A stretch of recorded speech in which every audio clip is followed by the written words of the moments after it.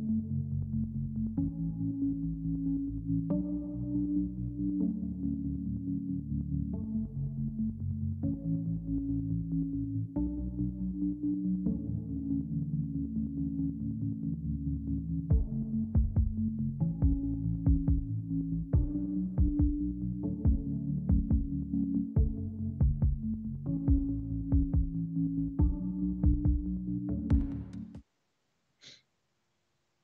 Hey there, Regen family. Hope you're doing well.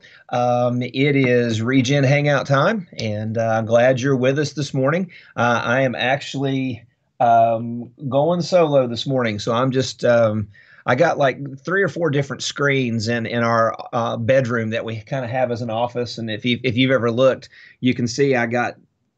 I don't know if you want to call it man uh, man cave stuff or boy cave stuff. I got a little bit of Star Wars stuff and a little bit of a little bit of everything. And and uh, Spider Man's my favorite. Anyway, um, glad you're with us this morning. Please um, make sure to let us know uh, you're out there and and that you're uh, you're watching. Would love to spend some time with you um, man, if you uh, if you weren't able to uh, um, be with us last night or uh, a week ago uh, last night, man, we had a great time last night um, at the church space, just um, uh, having worship and um, the encounter gatherings. Uh, I want I want to do those in the future once we get back together and do those occasionally, just to um, uh, be able to help us just experience God more. I think one of the things that we've uh, we've missed a little bit, and and and I think we have been slowly growing and getting better in it. But I feel like we need to do what we can to help each other and encourage each other when we gather together on Sunday mornings, to really be able to feel free and kind of let ourselves go a little bit, um, and and worship and um, uh, be very expressive um, in that. Uh, I feel like sometimes we uh, we don't um, make ourselves uh, we're not as expressive as we could be, and and I think we really need to work at being that way uh, of really um, letting the Lord know how we feel and and being demonstrative. Maybe that's the right word. Uh, being more demonstrative uh, in in in in this. Um, it's just one of those things that I think sometimes we uh, we get distracted by the people that are with us, or we get very uh, uh, we have we get very self aware, and we don't want to come off as I don't know being too emotional, or we're just scared, maybe getting embarrassed. And and I feel like we have a church space, uh, a church family that has always been very open to us being able to worship and, and share. And uh, so I think we need to to constantly work towards that. And these encounter gatherings, one of the points of it was for us to begin to do that and to, to feel more um, together. And also at the same time, I feel like um, was for us to begin to do that. What what are we doing here? Feel more um, together. I don't know what we're doing here. I don't know and what happened. At the same time, I feel like um, was for us to begin to do that. What what are we doing here? More, um, together. I don't know what we're doing here. I don't know.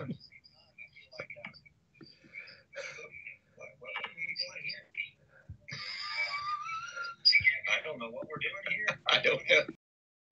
I have no idea what I've done. Oh, I know what I'm doing. There we go. I uh, I brought uh, YouTube up on my phone, and I'm I'm hearing myself and watching myself, and okay, I know what Mike's thinking. Uh, way to go, Boomer! And and that's exactly that's exactly me right there, um, bringing up stuff and not knowing what the heck I'm doing. Um, so anyway, um, trust me, don't ever be embarrassed. Be afraid to just be self-aware. and Don't be afraid to be self-aware and just um, let it all out there, even if you don't know what you're doing. Because that's me. I have no idea what I'm doing sometimes.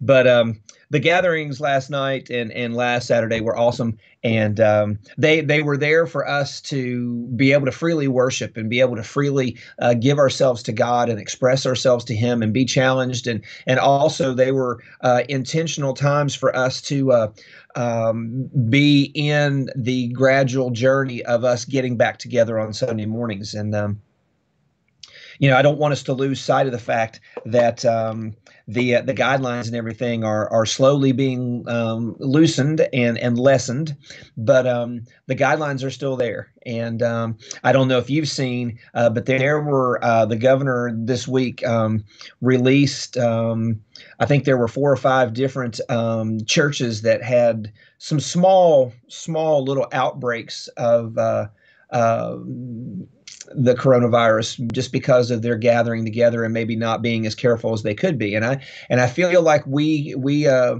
do ourselves justice. Uh, I believe that we um, are are a better witness to to be patient and to slowly get ourselves back to where we can be together. And at the same time, I think it gives us an invaluable time to really invest in each other. And that's one of the reasons why the home groups are so important. And if you have not yet signed up for a home group, would love for you to do that um, regenerationwv.com slash crave. Um, those are going to be starting next Sunday. And when you go to the page and you bring down the drop uh, the drop down menu, uh, you're going to see that they are geographically based. And so there's one at the church space. There's one at Edison and Cindy Atkins' uh, home. There's one at Ben and uh, Hannah Frederick's home in Barboursville. Uh, one in um, at Molly Arthur's home in Barboursville. Uh, there's going to be one in Proctorville, Ohio at Charlie and Angie Rhodes' home, and there's going to be two in Teays Valley, one at Mike and Sonny's home, and one at mine and Wendy's home. And and uh, um, it, it, they're they're just going to be great to watch the gathering together. Um, get that fellowship, uh, family feel, begin to get that feel again, but also build some relationships maybe with people that you wouldn't normally build some relationships. And the whole idea is to just to slowly begin to grow and branch out. And so we will we will um, get in smaller groups. And in all actuality we're going to talk some this uh, about this next sunday. Um, we're, we're starting a series. We're finishing up this morning the series called what's in a name. And i'm going to read a passage of scripture before we close out this morning. Um, but uh, um, I, am going to uh, um, I want to read a passage of scripture, but we're going to talk about groups. We're going to talk about the uh, uh, the reason why, um, in all actuality, the idea of a home group or a house church is really more scriptural than what we do on a Sunday morning conceptually not talking the spiritual aspect of things, just talking conceptually.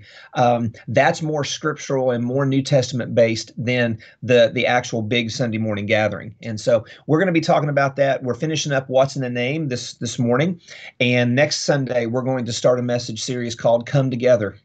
And that's going to lead to us literally um, being back together and um, uh, having a next step Sunday and a celebration Sunday at the church space and, and and all of that. And so we're excited, and we want you to help us be a part of that as we build towards that and and and, and snowball or build, grow the excitement. We want you to to really be a part of this and and take advantage of this because church we have got to this is this is a time for us because of the the, the culture that we live in. I'm sorry i'm getting passionate but the, the the the environment and the culture we live in right now needs the gospel needs jesus more than ever. And the way they're going to hear him the way they're going to see him is through us the church being present wherever we are and and and having a voice when needed and and just loving people um, and leading with his love and then speaking into uh, the the culture and the lives that we have. And so um, that is so important that uh, um, um we need to we just need to, to be together okay i want to read a passage of scripture thank you guys i'm looking on here i was finally able to bring this up um, and um, be able to watch this on my phone without hearing myself and freaking myself out, not knowing what I was doing. Um, I want to lead us into. Uh, and and and oh, by the way, thank you guys. Whoever was involved, uh, all the people who were involved in last uh, night and the week before. Um, thank you guys so much. Whether you came, whether you were a part of the worship, whether you uh, helped beforehand, everybody, everything. It was amazing and um, it just continues to grow the excitement of me of, of us getting back together. And so, um, Jeremiah chapter 23, verse 24. Um, this is a passage that's going to go along with our message this morning. Jehovah Shammah, the Lord is there. This is the Lord talking. Verse 24, Jeremiah 23. Can anyone hide in secret places so that I cannot see him, declares the Lord? Do not I fill heaven and earth, declares the Lord. All you've got to do is look with your heart, with your soul, with your eyes, and you will see God because He is everywhere. And since He fills us with His presence, wherever we are, He is there. That's what we're going to talk about this morning. I love you guys. Thank you guys, Charlie and Angie and Sherry and Ruth and Larry and Vicky and um, uh, Jennifer and Molly and Opie and LaRonda and Britta. Uh, thank you guys uh, so much for uh, um, being on this morning and, and watching and sharing. And uh, let's go into our gathering this morning and let's be excited about what God's going to do. Let me pray for us. God, we love you. We praise you. We thank you for who you are and what you do. Thank you, God, that you are everywhere. And you sent Jesus so that we would not have to be separated anymore. And God, through him, you would fill us with your presence. And then wherever we are, you are there I thank you for that. And I pray, God, that you would work in and through us when we are in the environments around us, that you would help us to be your voice, your love, your presence in the world. God, thank you. We pray this in Jesus' name. Amen. Hey, I love you guys. Thank you so much for tuning in. We're going to go into the countdown and then we're going to go into uh, our gathering. Don't forget, if you haven't yet signed up for one sign up for one of the crave groups um, regenerationwv.com slash crave watch our social media this week let's worship god together if nobody's told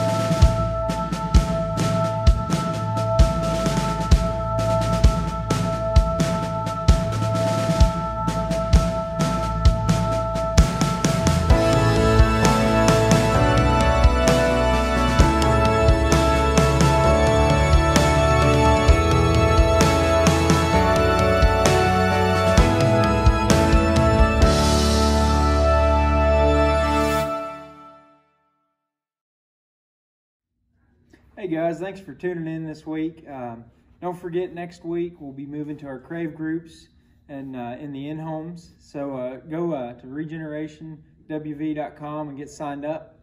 And if you need anything, text or call the number below. Thank you.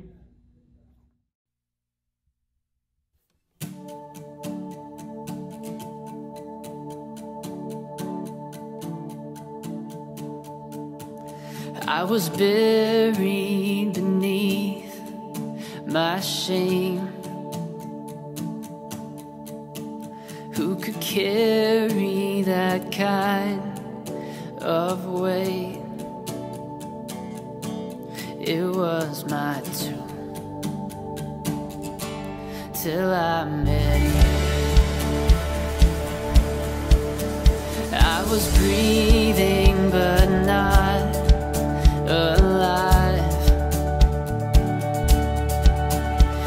my failures I tried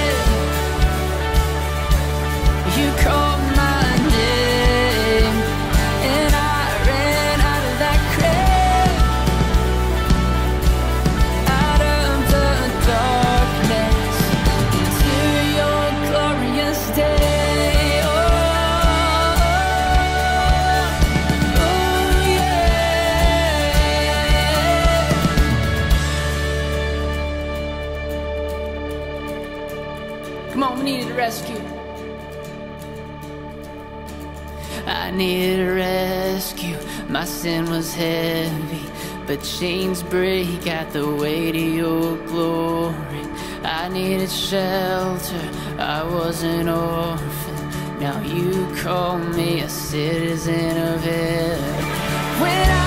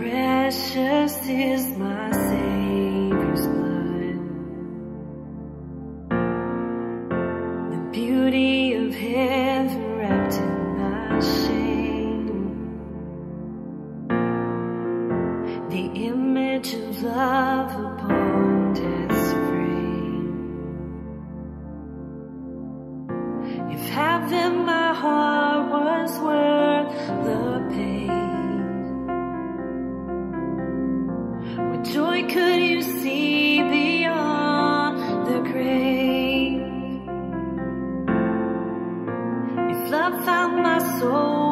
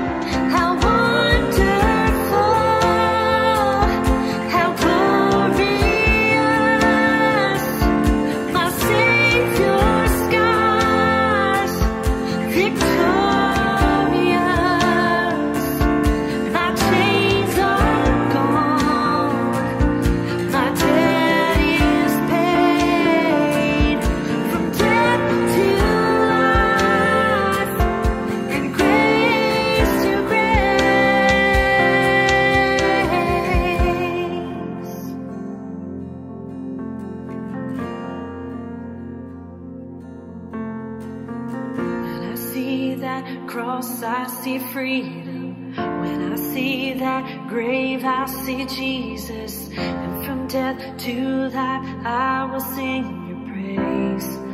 In the wonder of your grace. When I see that cross, I see freedom. When I see that grave, I see Jesus. And from death to life, I will sing in the wonder of your grace when I see.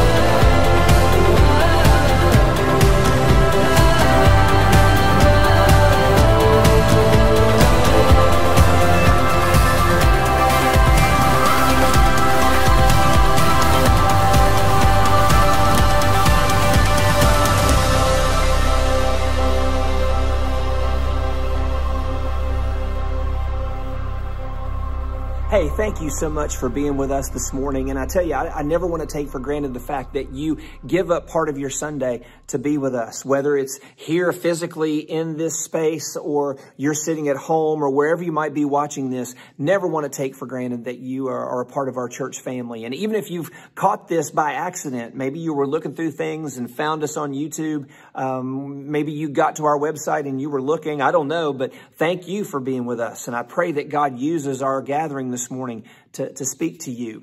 Um, if you have a Bible or a Bible app, turn to Ephesians chapter 2. Uh, we're eventually going to get there, and, and about halfway through the chapters where we're going to pick up, and it's going to be uh, something that is going to help us wrap up everything that we're going to talk about this morning. Um, I don't know if you've noticed, but um, it's campaign season. It is, and the, the campaign signs have blossomed up everywhere. It seems like wherever they were planted, that's where they are. You can't get away from them. There's the candidate, their picture, their platform, their name. They're just everywhere. You, you turn on the TV and you see the commercials and it seems like they are, are going to play back to back. And just like it is every election season, uh, you just can't get away from them. They're everywhere. And I, I'm just telling you, I would love to spend the money that they spend on getting their names out there. I'm sure it's in some cases astronomical what they spend but they're everywhere.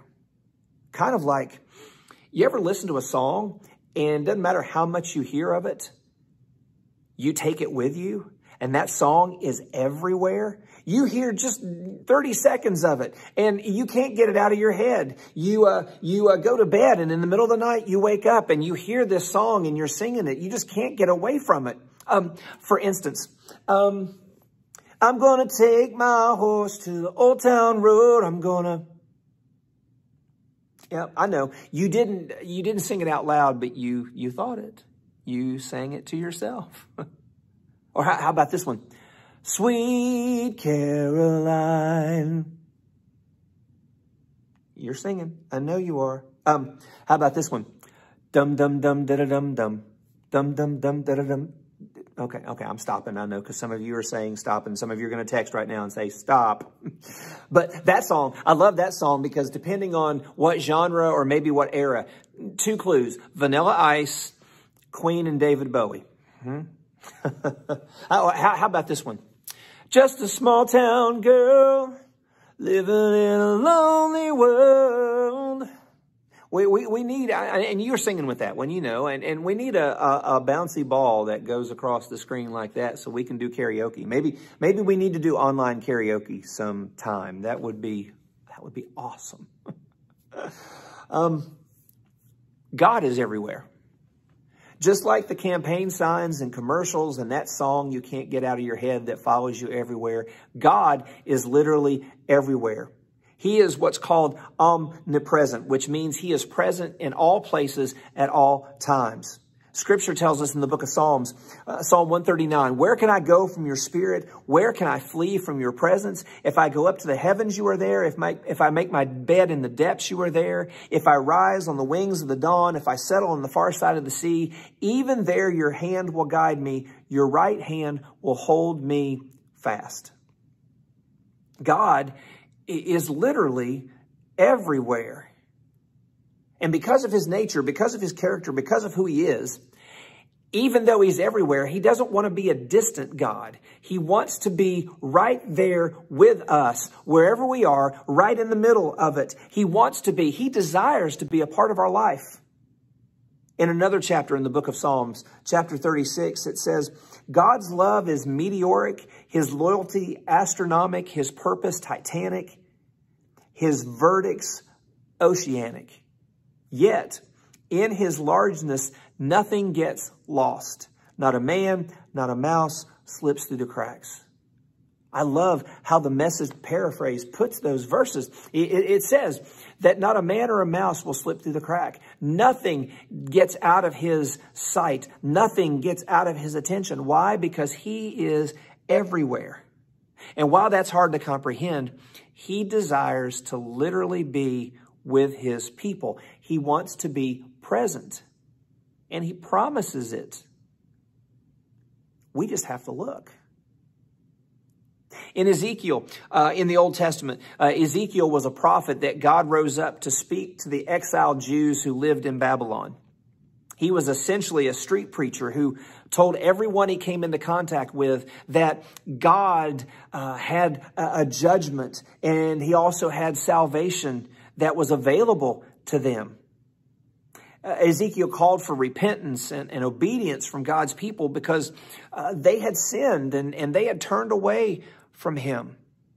He wanted to, to speak through Ezekiel. God wanted to speak through Ezekiel and let them know that they were now in captivity and it was their own doing. God had taken his presence away. In a sense, he had taken his protection from them, but he shows Ezekiel a, a vision telling uh, Ezekiel that he's going to give his presence back to the people again, that he's going to inhabit the temple in Jerusalem again. God says in Ezekiel 48, and the name of the city from that time on will be, the Lord is there. We're, we're finishing up this series that we've been in the last few weeks called uh, What's in a Name? And we've been looking at different Hebrew names, and this name kind of caps everything off. The name that Ezekiel uses here, the Hebrew, is Jehovah Shammah, the Lord is there. You see, in spite of what the people had done, God's desire was to be with them, and he desired for them to be with him. And you see this all through the Bible. You see it through the Old Testament. From the very beginning of creation, we see that God longed to be with his people. In Genesis chapter 3, we, we get the idea that God would come and spend time with, with Adam and Eve. It says, verse 8 of chapter 3, Then the man and his wife heard the sound of the Lord God as he was walking in the garden in the cool of the day. Now, maybe it's a big assumption, but if, an, if Adam and Eve were living in the Garden of Eden and God walked there in the afternoon, more than likely they would spend time together. They would walk together. And I don't know if God appeared in a physical form or if it was more of a spiritual, intangible form. I don't know but they were together. God was present with his people. But then we see the devil manip manipulates Adam and Eve and, and, and they disobey God and their sin separates them from God. God casts them out of the garden and they were no longer in his presence. But from that point on, God is continually showing himself, making himself evident, calling to his people, pursuing them, wanting to be with them. Why? Because he is Jehovah Shammah, the Lord is there.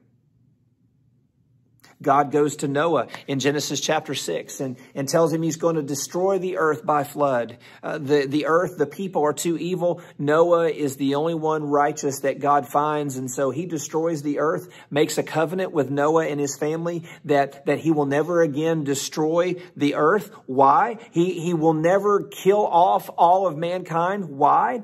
Because God is Jehovah Shammah. The Lord is there and he wants to be present. He wants to be with his people. In Genesis 12, he makes another covenant with Abraham and, and tells Abraham that through him, he's going to make a great nation of people that he will bless, that his presence will be with them. Why? He wants to be with his people through Joseph in, in chapters 37 through 50 in Genesis, we see that God's chosen people, the Israelites, grow into a great nation, which is what Abraham had been told by God. And, and they end up living in Egypt because that's where Joseph ends up. They become a threat to Pharaoh because they become so huge and Pharaoh makes them slaves. But God calls Moses and Moses leads them out of Egypt. Why? Because God's presence is with them. He is Jehovah Shammah. The Lord is there. Moses leads them into the wilderness and, and on the way to the land that God promised them, they begin to complain and, and, they begin to argue and they turn away from God and they even refuse to trust him. And it's time and time again that he refuses or, or they refuse to, to, to obey him. But every time he makes himself evident and he saves them and he just reminds them that his presence is with them. He parts the Red Sea so they can escape Pharaoh. He provides water and manna and quail for them to drink and eat as they survive in the wilderness. He appears as a pillar of cloud during the day and a pillar of fire at night for them to follow as he leads and guides them. Why? Because he is with them. He is Jehovah Shammah. The Lord is there. But it wasn't enough just for God to lead them. It wasn't enough just for him to be with them. He wanted to literally be among them. So he goes to Moses and he gives instructions for them to build what is called the tabernacle. And in Exodus 25, God tells Moses then have them make a sanctuary for me, and I will dwell among them. The people come together and they bring all the things needed to build their tabernacle. And in Exodus 40, we see God occupy the tabernacle. Starting with verse 34 in Exodus 40, it says, Then the cloud covered the tent of meeting, and the glory of the Lord filled the tabernacle. Moses could not enter the tent of meeting because the cloud had settled upon it, and the glory of the Lord filled the tabernacle. In all the travels of the Israelites, whenever the cloud lifted from above the tabernacle, they would set out. But if the cloud did not lift, they did not set out until the day it lifted. So the cloud of the Lord was over the tabernacle by day, and fire was in the cloud by night, in the sight of all the house of Israel during all their travels wherever God's people were, wherever they went, they set up the tabernacle. Why? Because God wanted to be among his people. His presence was with them. He is Jehovah Shammah. The Lord is there. Years later, David desires to build a permanent place for the people of God to worship and he wants to build a place where God's presence would forever be with his people. Eventually, David's son Solomon builds the temple. And in Second Chronicles chapter 5, Solomon has the Ark of the Covenant brought to Jerusalem and placed in the temple. The ark uh, represented the covenant that God had made with his people. And what was God's covenant? Remember, he made a, co- a covenant with Noah. He made a covenant with Abraham. He made a covenant with Moses, uh, with the people. In, in, in Deuteronomy 29, Moses leads the people in a renewal of this covenant. And he says, he says in verse 12, you are standing here in order to enter into a covenant with the Lord your God a covenant the Lord is making with you this day and sealing with an oath to confirm you this day as his people, that he may be your God as he promised you and as he swore to your fathers, Abraham, Isaac, and Jacob. I am making this covenant with its oath, not only with you who are standing here with us today in the presence of the Lord our God, but also with those who are not here today. God promises to be the Israelites' God. He promises to be with them and to bless them. Why? Because God's presence was with them. He is Jehovah Shammah. The Lord is there. Now, here's the thing that, I, that, I, that we, we can't lose sight of, and this is where I want us to, to begin to apply it and make it personal. Going forward in scripture, we constantly see God reminding the people that he is their God and that he is with them, but they turn away. He calls them on it and they repent and come back to him. Now, when we get to Ezekiel, this has been the covenant pattern, the consistent pattern. God makes a covenant with his people. He says, I will be the Lord your God. I am Jehovah Shammah. I am with you. But then the people turn away and then he pulls his presence, but then they repent and come back and he gives his presence again. It's just a never ending, consistent thing. But in Ezekiel 48, we see Ezekiel's vision, not just for the, the Israelite people we see going through this cycle, but we see his vision not just for their future, but for the eternal future to come. Our future. Now let's go back to Deuteronomy 29. Moses tells the Jewish people that God was not only making his covenant with them, but those who are not here today. And who is that? That's us. In Acts chapter 2, after Peter preaches to the people who were listening uh, about Jesus, the, the people that were listening were cut to the heart and they ask, Brothers, what should we do? And Peter answers, Repent and be baptized, every one of you, in the name of Jesus Christ for the forgiveness of your sins, and you will receive the gift of the Holy Spirit. The promise is for you and your children and for all who are far off, for all whom the Lord our God will call. From this point forward in Acts chapter 2, Peter was making it clear that the gospel wasn't just for the Jews anymore. It wasn't just for the Israelites. It was also for the Gentiles, the non Jews. As, as he says here in verse 39 of Acts 2, it was for whoever God would call. And who is that? It's everyone. It's us. Now, this is so important for us to understand. Why? Because God wants you to know that He wants His presence to be with you and not just with you. And this is the amazing thing that, that, that it's what Jesus did. And we'll get there, but it's the amazing thing. God dwelt with His people. He was Jehovah Shammah. The Lord is there. And He was among His people in the Old Testament. But then Jesus came and it's not just among His people anymore. It's not just that. He is Jehovah Shammah. The Lord is there in you. This is so important for us to really work hard at grasping and believing. Jesus died so that you could not be, he, he came and he lived and he died so that God wouldn't just be with you. You would now be a temple. He would be in you in you. Now, I had you turn to Ephesians chapter 2, um, where you've been holding it. Um, Ephesians chapter 2, starting with verse 11. I'm reading from the NIV, the New International Version. Listen to what it says. Therefore, remember that formerly you who are Gentiles by birth and called uncircumcised by those who call themselves the circumcision, that done in the body by the hands of man, remember that at that time you were separate from Christ, excluded from uh, citizenship in Israel and foreigners to the covenants of the promise, without hope and without God in the world.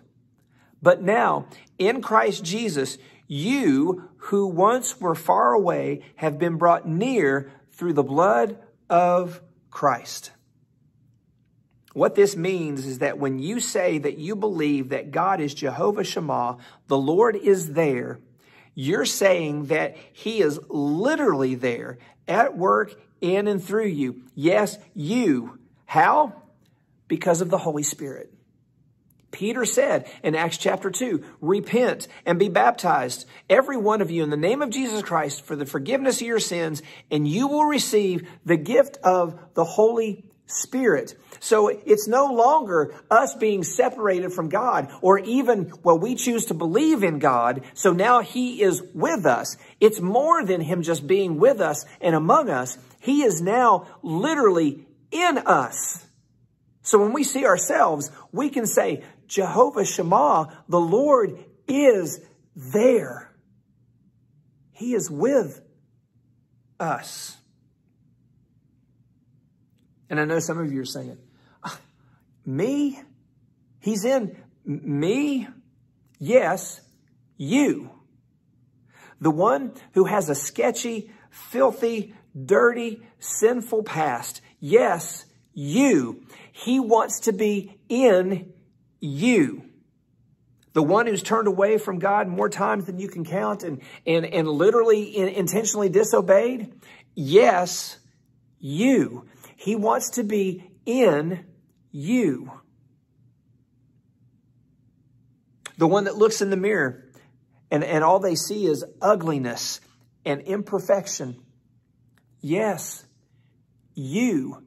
God wants to be not just with you, in you. The one that doesn't feel uh, they're worthy to be in the Lord's presence let me tell you, none of us are worthy to be in the Lord's presence, but God sent Jesus. And because of Jesus, we can now confidently come before him. Why? Because when we believe in him, when we choose to follow him, I don't know how it happens, but when we choose to begin to follow and when we're baptized, we receive the gift of the Holy Spirit and he dwells in us. And literally, he is Jehovah Shammah. The Lord is there. And did you see what it says there in, the, in that passage, that section in Ephesians 2? But now in Christ Jesus, you who once were far away have been brought near through the blood of Christ. God loves you and, and wants to fill you with his presence, his spirit. He wants you to live confidently knowing that he is Jehovah Shammah. The Lord is there in you. Now let's go on in Ephesians chapter 2 because I think this is really interesting because it's, it's, it's really relevant to, to what we see going on today uh, in the world around us. Verse 14. For he himself you who were far away and peace to those who were near. For through him we both have access to the Father by one Spirit. Through Jesus, God made the way possible for both Jew and Gentile to be with God. His presence could now be in anyone and everyone, anywhere and everywhere. And do you, do you hear the correlation? What God did through Jesus was make the way possible for everybody to be on level footing. Jew, Gentile, didn't matter. All are sinners and fall short of the glory of God. All deserve death.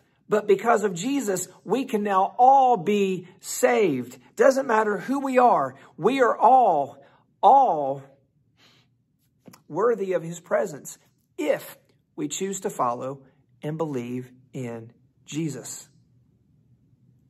And I don't know if you noticed, but do you, do you hear the correlation between what this is saying in both the spiritual and the natural world, uh, especially right now when it comes to the racial things that we're going through?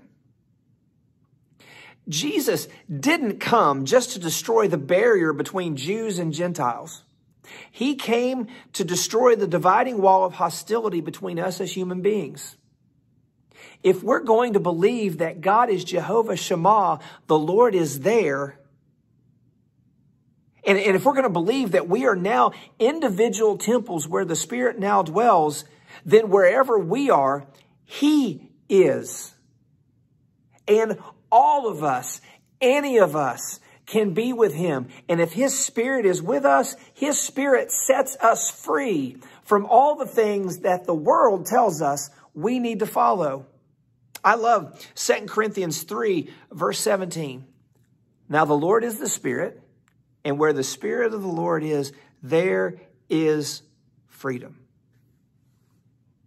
If we believe He has filled us with His Spirit, then wherever we are, He is there.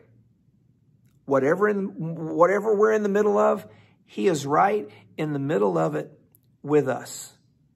And listen, if we're going to speak into what's going on right now when it comes to racial uh, reconciliation, then we need to believe that He is there with us because we are there. We just need to ask Him to lead and guide us. I, I, I feel like we need to truly believe that He is Jehovah Shammah. The Lord is there. And if we believe that, then wherever we are, He is there. And He will lead us and He will guide us and He will help us know what to do and He will help us to know what is right. And I believe that he will help us to know when we looked last week at, at, Micah chapter 6 verse 8, he will help us know what it means to act justly and to love mercy and to walk humbly with him because that's what I think he requires. I believe it's what he requires of us right now. But we have to believe that he is literally Jehovah Shammah. The Lord is there and he is in us. So wherever we are, he is there. What I want to do right now is I just want to, uh, I want to spend some time in communion. And what I want to do is I want to us to ask him to lead and guide us as we go out into the world. Because listen, it's not just the, the racial um, struggles that are going on right now, the things that, that have been going on, unfortunately, for a long time that we've not really spoken about and spoken against. It's not just that. There are people still living in fear from the pandemic. There are people struggling with, with uh, financial things and emotional things, and, and people are grieving because people have died. They're, they've lost businesses. They've lost relationships. There are people hurting, and we need to understand that while the Lord is everywhere, He wants to work in and through us because wherever we are, He is there because He dwells in us. And what I want to do is I just want to pray that He will lead us and guide us. And I want us to do it through communion. But this morning, what I want to do is we're, we're going to uh, share in a song together. And during this song, I want you to take communion. And as you do, as you take the, uh, the emblems that represent the body and blood of Christ, uh, uh, during the song, I'd like you to first thank God for the freedom that we have. We've been set free from sin. And wherever the Spirit of the Lord is, there is freedom. And so the Lord is there. He is within us and He sets us free. Ask him how he can begin to show you how you can live out that freedom, how you can begin to be who he wants you to be. But I don't want you to just pray for that.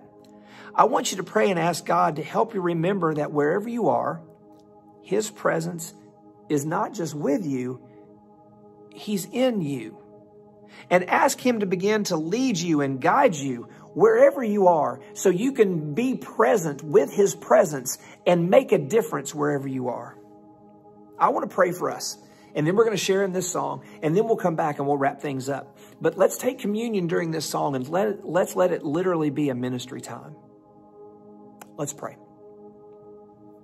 God, I just pray right now that you would help us to understand that because of Jesus, we can receive your spirit and we can believe that you literally are Jehovah Shammah. The Lord is there because you are in us and help us to see, God, that wherever we are, you are there and help us to see how you want to lead us and guide us to do ministry and change our world. God, help us as we remember what you did for us through Jesus, through his body and his blood.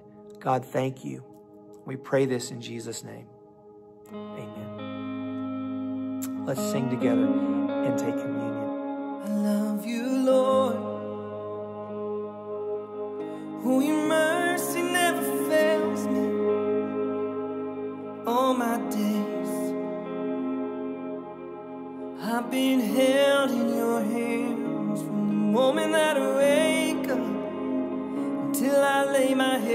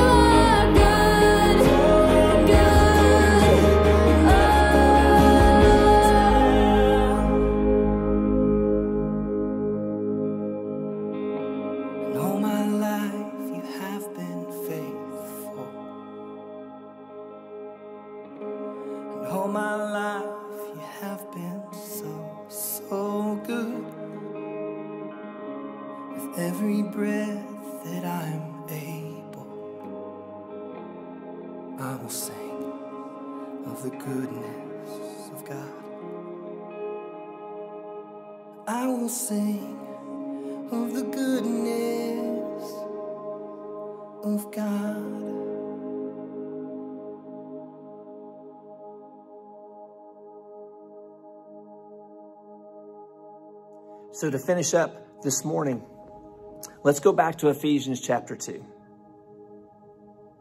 At verse 19, it says this Consequently, you are no longer foreigners and aliens, but fellow citizens with God's people and members of God's household, built on the foundation of the apostles and prophets, with Christ Jesus himself as the chief cornerstone. Because we have received his spirit, and he is Jehovah Shammah, the Lord is there in us.